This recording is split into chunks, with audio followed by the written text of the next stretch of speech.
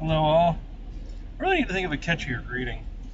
Um, anyway, uh, I hope everyone's having a better week than I am. I mean, hadn't been, hasn't been good. Hasn't been a good one for me. Of course, last week wasn't that great either, so, you know, I'm kind of on a roll. Um, but sometimes the right movie comes along at the right time and it kind of makes everything a little less sucky. Um, I didn't know if I was going to go out tonight. I wasn't feeling really up to it. But I didn't know if I wanted to go out this weekend. So I was like, I, I, I want to see a movie. I want to do a review. So I need to go now. So I went and saw this one tonight. I'm always a little leery about going and seeing things on opening night. But uh, um, audience was pretty good. I mean, it was small. So, um, and the movie was a real surprise in all of the really good ways. I freaking loved this movie. Maybe loved is too much, but it was a breath of freaking fresh air. Uh, I mean, I haven't. Uh, I just haven't had that good of a time lately in life, and like this movie is just it's it's a good time, and that is the best way I can describe it. It's a freaking good time. The closest films I can think of to maybe compare it to are are uh, not Independence Day, um, Pacific Rim for this kind of high concept, you know, monster movie, or not even high concept, just kind of you know popcorn monster movie and uh, a movie that I don't know how many people remember. the movie called Brotherhood of the Wolf, which came out when I was in college. I think it's a French movie, actually. It's like a French monster movie, kung fu. It's so hard to describe, but those those are the two films I kind of think of when I'm watching this thing. There's just so much about all the good stuff about those two is in here. Um, so, of course, this movie has been garnering a lot of uh, uh, a lot of controversy when it when the first trailer came out because they cast Matt Damon in it. Uh, you know, a white guy in a movie about the Great Wall. Um, and you know, my my personal feeling about that, and I feel like I'm, I'm I'm vindicated for thinking this was, you know, nobody is even waiting for the movie to come out. They're just automatically jumping on this. Oh, this is terrible. This is insensitive. This is this. This is that. And nobody knew what the story was. Nobody knew who he was playing. I mean, it wasn't like he was playing a, you know, a Chinese character. You know, and really, when you watch the movie, it makes perfect sense. It all works really good. You know, um, so basically, Matt Matt Damon and uh, Pedro Pedro Pallone, Patron, I think. I, am mispronouncing his name. Um, but he played Oberyn Martell. Ooh, a couple cops going by. That can't be good. Anyway, uh, he played Oberyn Mar- Martell in uh, one season of Game of Thrones before his character, surprise, was killed. You know, um, but they play these mercenaries who are, you know, heading east, trying to find, you know, black powder or you know gunpowder so they can steal it and, and, take it back. And they, they happen upon the Great Wall. And they're taken in by this this group, this army that's there called uh, the Nameless Order, and they quickly discover that they're fighting these like aliens or monsters. They they give you kind of a, a mythic a mythical origin story for them, but they don't really go into a lot of detail, which is I which I like.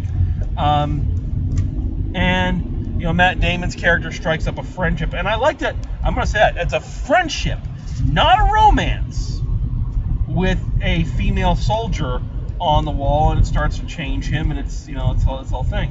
Um, I don't even know where to start with with what I love about this movie there's a lot of things I love about this movie. I I think the thing I love the most though is that visually this is one of the most gorgeous looking movies I have seen in a long time, especially in the realm of set and costume design. Oh my god, the costume design in this movie is mind blowing. I love it so freaking much. Like, I could just watch these people walk around in the armor for two hours and come out going, yeah, that was awesome. You know, um, so this this nameless order that runs the uh, that that like guards the wall. They're basically they're color coded. Whatever division they're in uh, are color coded. Like the red are the um, uh, the, the archers. Uh, I think the black are like the foot soldiers. The purple, I don't. They never really say what the purple is. Um, and they've got they got uh, purple, orange, black, red, and blue. The blue are all women, and what they do is they like they're like bungee jumpers. They like hook on to this uh, massive pulley system and jump off into battle, and their their armor is so gorgeous. The blue armor, all the armor in this is like so freaking cool. It's so well designed and it and the colors are amazing. The blue of the of the, the female soldier's armor is oh, it's so gorgeous. And I'm just like, I, I just want to walk around in that armor. I just want a set of that armor, man. Um, the action scenes are really creative and they really have fun with the concept and that's that's kind of where it comes to a, a kind of a comparison to Pacific Rim for me is that they're really having fun with the concept in the action scenes. They're not just kind of giving you some generic thing. I mean, they have really thought it out. Just like you can tell the soldiers kind of in this, you know, war have really thought out what, you know, the different ways to fight these these creatures. Um, everybody in the movie gives a really great performance, a really fun performance. I think that's the key word here fun. There's just a lot of fun to be had. Matt Damon, of course, gets his head above the title because, you know, he's Matt Damon, he's the biggest star in the film. But I think he, the, the movie is not just Matt Damon's. I mean, it is in that he's kind of the, the audience POV character. But, I mean, the real relationship is him and uh, Pedro Pallone. Well, again, I'm mispronouncing his name, and I'm really sorry because I really like the guy.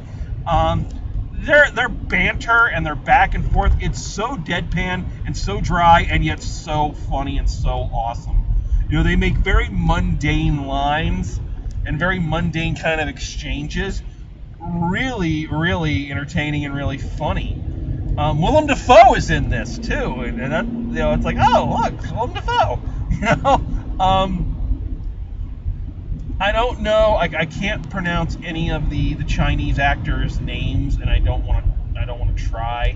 So I'm uh, so I'm sorry to do this, but I'm going to refer to them. The, the one character I want to talk about, the main female lead, uh, I'm just going to call her uh, Commander Blue Ranger because you know she was in blue and she was like a commander. She's made the general. Um, she was really good. Um, one of just one of those actors that is a strikingly beautiful woman, uh, but doesn't come off as as dainty. That no, she kicks ass. Never once is a damsel in distress. Never once is weak. You know, is I mean, she's a great character, and she, this young lady plays it to the hill. There's a there's a lot of characters. There's a there's like the advisor, who again don't know his name, don't know the actor's name, um, who like is kind of the liaison. He's trying to study the monsters and trying to figure things out. You know, he's really good. Um, and they have another character who's like this kid who this kind of screw up. I'm gonna call him. Uh, I'm gonna call him Black Ranger because he's all in black. He's one of the black soldiers. Um, and he keeps screwing everything up. You know, and he, you know, and everyone's calling him an idiot and everything. But Matt Damon you know, sees that he's got more courage in him than they think. You know, and it's this whole thing. And he's really good. He has a really great character arc. You know, it's just and it's like it's not to say that any of this is brilliant acting, but it's it's acting that is just right. It's just right for what this movie needs to be. The characters are not too big and too exaggerated. Um, I don't know. They just fit. The acting just fits and that's hard to do with one of these kind of weird genre pictures that's trying to merge the gap between so many things.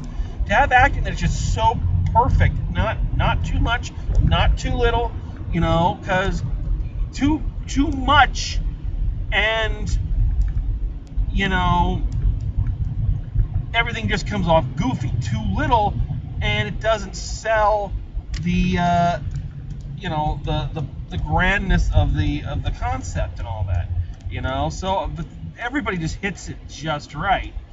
Um if i have a complaint and you all know me i i i, I have nothing but complaints sometimes if i had a complaint uh, it's that i did not like the the computer animation well, really at all. I didn't like the computer animation really at all.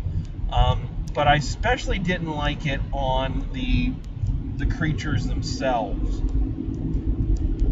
Um, the creatures themselves were kind of again. This is this may be the weak point. Uh, um, the creatures themselves are kind of 50-50 in terms of how they look. I think there's some interesting design choices there. Uh, like for instance, they have the eyes on the shoulders. You know, um, but uh, I don't know. There, there's nothing really in them that that makes you really remember them later. They don't have a, a unique enough look, and uh, maybe that's by design. Maybe they're not supposed to be. They're just supposed to be a monster. Um, the other problem is again the animation on them is is too cartoony. Now I say that and you know, the, the, the premise itself is kind of cartoony, and the costumes and everything again are very. The whole thing looks like a video game. A lot of the a lot of the action scenes look like a big video game in a good way, the kind that you're like, man, I wish this was a video game because I would like to play that right now. You know, um, so I guess that's good, but I don't know. I would have liked it maybe if the creatures were animated a little bit more realistically. Um, I don't know. It just it just seems like tonally the animation doesn't mix with every the grandness of the uh, of the of the rest of it. I don't know. It just, it, it's, the two things don't seem to go well together. That's kind of a minor nitpick. Actually, it's not really a minor nitpick.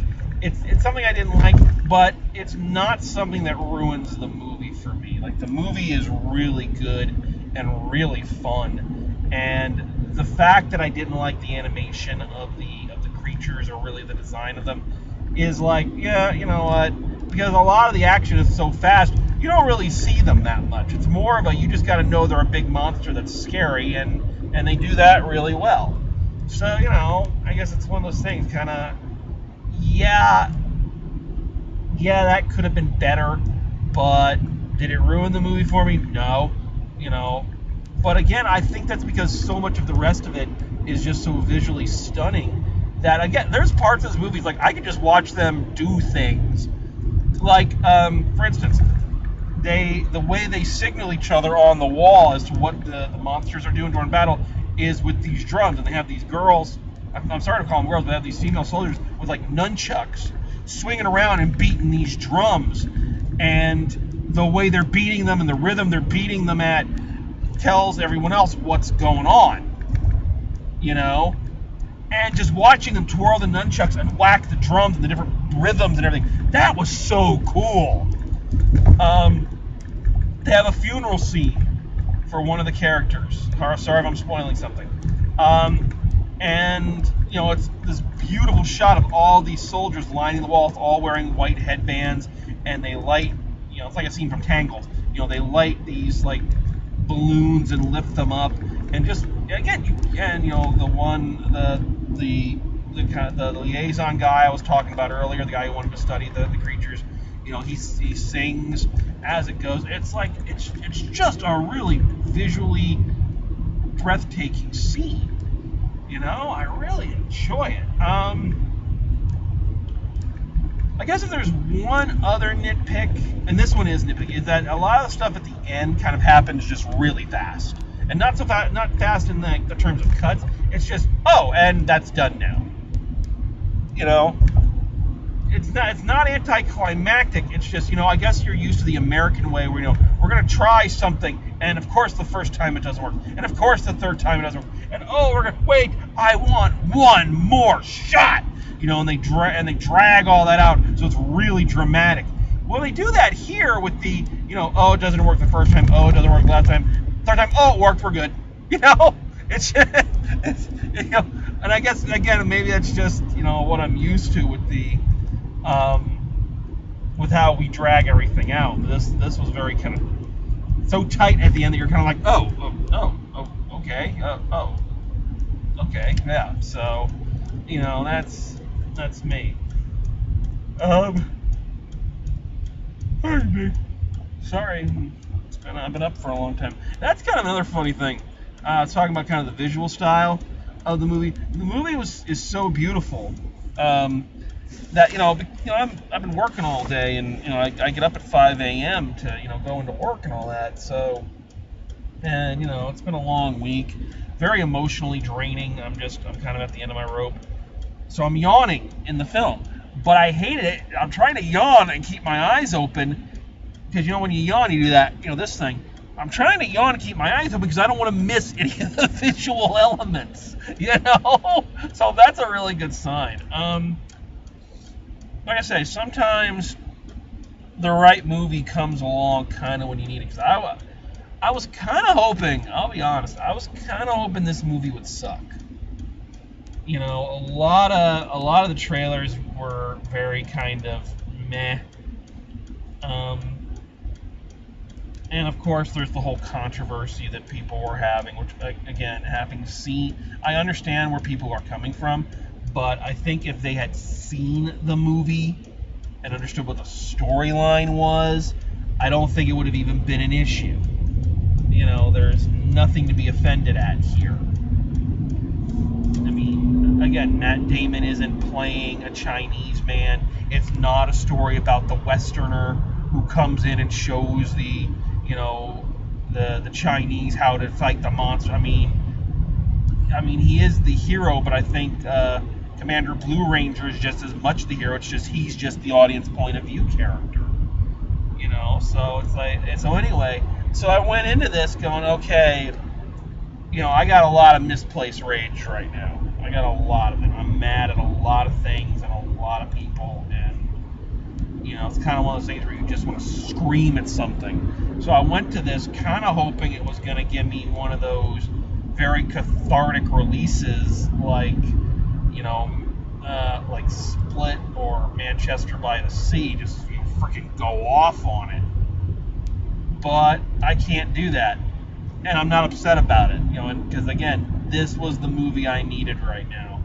It was a really fun. It was a popcorn movie. It is a. It is the definition of a popcorn movie. Um. So. So yeah. Um. I I really dug this movie. I I really. I'm really glad I went, and it came at just the right time. So you know, if you watch a review show to know kind of if you should go see it, yeah, you should freaking go see it. It's really good. It's a, and again, it's just a good, fun escape movie. There's nothing deep in this. You know, the actors all handle it with the perfect amount of seriousness and humor. Um, the costume design is mother loving gorgeous. It is the best costume design I've seen in years. Um, so yeah, you need to check this one out. You really do. So that's that's my opinion. Uh, so hopefully you will all go out and see this one, and uh, and yeah, that's that's kind of me. I'm winding down here. I still got a little ways to go to get home. I took the long way around, so uh, I'm not going to talk the whole time. So um, so yeah, The Great Wall, and it is it is a great movie. So. I, think this is the first film of 2017 that I can say I really, really liked. So, booyah.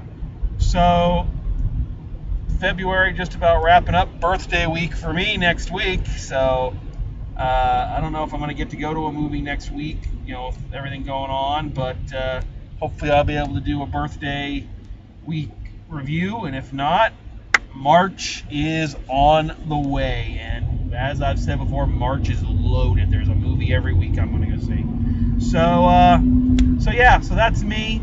Uh, thanks for watching, and until next time, Drive safe, and I will see you at the movies.